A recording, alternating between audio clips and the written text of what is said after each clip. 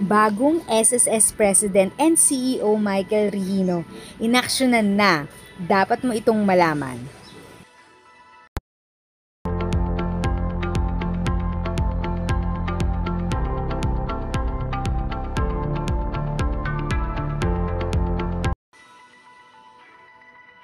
Kamakailan ay nagkaroon ng viral video kung napanood niyo po yun ating mga lolo't lola at ating mga viewers tungkol sa pagsugod ng mga SSS pensioners at SSS members na gabi pa lang daw or hapon pa lang daw ay nakapila na sila para makakuha daw ng number.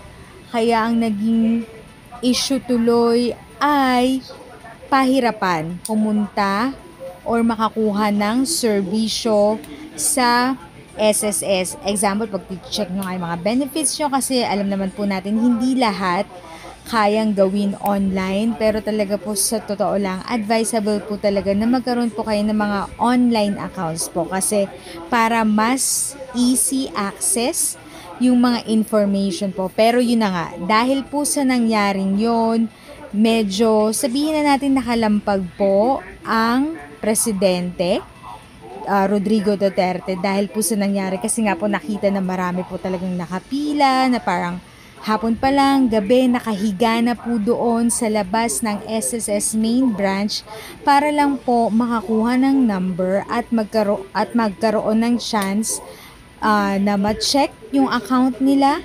Kaya po ganon. At dahil nga po sa nangyari is bago na po ang SSS President and CEO. Ito nga po ay si Michael Rihino. So dahil po sa nangyari, pinalawig ni Michael Rihino ang oras ng opisina ng SSS para ma-accommodate ang pagdagsa ng mga transaksyon sa isang paunang hakbang upang mapabuti ang mga serbisyo sa frontline. Ang bagong halal na SSS President at CEO or Chief Executive Officer na si Michael Regino ay nag-utos ngayong araw sa lahat ng mga branch head ng SSS sa Metro Manila na palawigin at kaagad ang kanilang oras ng operasyon. So ibig sabihin po hindi na lang siya yung parang normal na 8 to 5 yung oras. So ito po ay mas maaga magsisimula at sa gabi na po matatapos. So mas mahaba po yung operasyon. Sa isang press statement, sinabi ni Regino na magbubukas ang mga tanggapan ng SSS sa National Capital Region NCR simula alas 6 ng umaga hanggang alas 6 ng gabi tuwing weekdays at ilang opisina naman tuwing Sabado upang ma-accommodate ang pinakamaraming transaksyon hanggat maaari kasunod ng pagdagsa ng mga transaksyon simula ng ideklara ang alert level 1 status. Yun na nga po, dahil nga po naging alert level 1 na tayo at medyo mas madami na yung mga transaksyon na pwede natin gawin kabilang na dito sa mga SSS or government offices. Kaya po medyo dumami po yung mga tao na pumupunta sa physical na mga branches.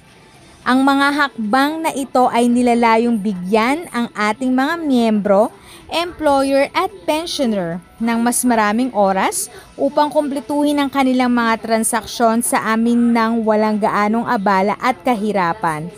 Masakit sa akin na makita ang ating mga miyembro na nagkakampo sa labas ng mga opisina ng SSS ng madaling araw para lang matalo ang mga pila at matapos ang kanilang mga transaksyon dagdag ni Michael Regino.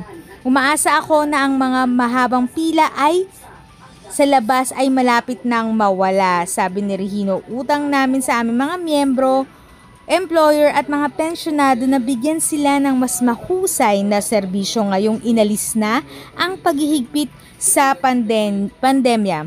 Inanunsyo ni Finance Secretary Carlos Dominguez III nitong Miyerkules na itinalaga ni Pangulong Duterte si Regino noon ay isang SSS Commissioner sa posisyon ng SSS President at CEO.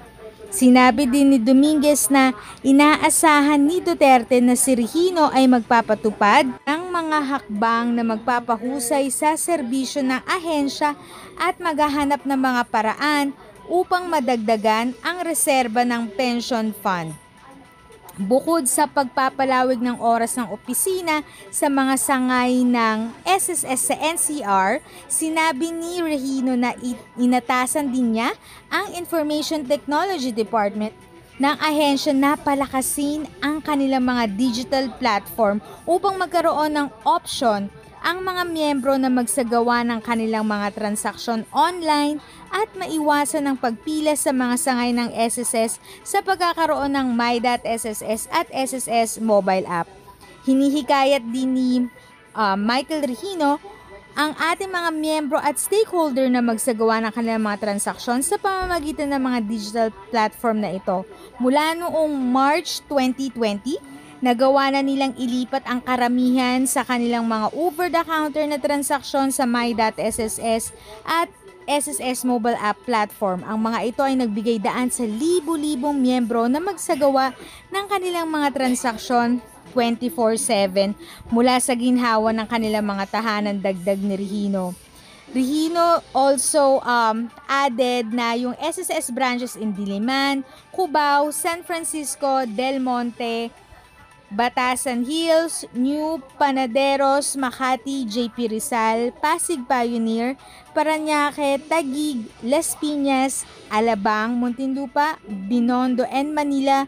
Ay open kahit po Sabado, ito pong buong March na to. Ang mga sangay ng SSS na ito ay tatanggap ng lahat ng transaksyon maliban sa mga serbisyo ng telering mula 8am hanggang 5pm. Sinabi rin ni Regino na ang mga sangay ng SSS sa Metro Manila ay magpapalaki ng kanilang kasalukuyang manggagawa na may karagdagang tauhan mula sa pangunahing opisina. Papayagan din ito ang mas maraming tauhan ng counter. So yun na nga po, mukhang maganda po yung una po talagang naging aksyon ng bagong SSS President CEO Michael Regino dahil sabi ko nga po sa inyo talagang nag-viral po kasi yung mga SSS pensioners at SSS members na dumagsa po sa kanilang SSS Diliman branch. Kaya po talagang naging big deal po ito. At maganda nga po yon para talaga kumonti na lang po talaga ang mga tao or mga members na pupunta or magwo-walk-in sa mga branches. At kung talaga pong kailangan yung pumunta sa mga branches, um, lagi po nating alalahanin, ito po, flash ko po yung number coding po. Dapat po pupunta lang po kayo, depende sa last number ng inyong SSS. Example po, yan po, 1 o kaya 2. Monday lang po kayo pwedeng pumunta.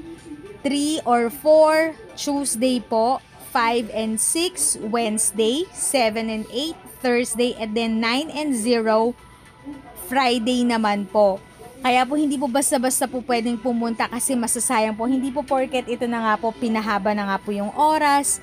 Um, 6 to 6 na po yung mga oras. Majority po ng mga NCR branches nila, hindi po pwedeng punta na lang po kayo agad. So, i-check nyo po muna mabuti yung last number ng inyong SSS para hindi po masayang ang inyong effort at yung nga po yung pamasahe din po papunta doon. So, so kung sa tingin nyo, 1 or 2 kayo, itong darating na lunes, pwede na po kayong pumunta doon. Sa tingin ko naman po, yung Sabado naman, is pwede din po sila mag-accommodate doon pero case to case basis nga po.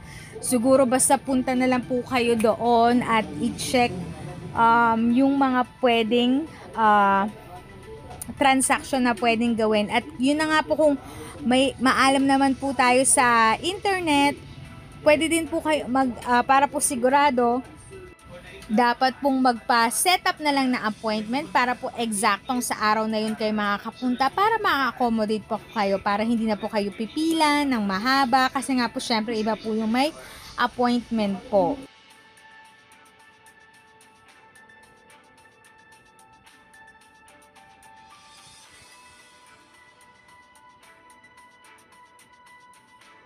Yan lang po muna ang aking update. Sana ay nakatulong na dagdag kaalaman ang aking shinare today. Ang goal ng aking channel ay mag-create ng awareness. Kung ganitong mga topic ang gusto mo, panoorin mo ang mga videos ko na ito.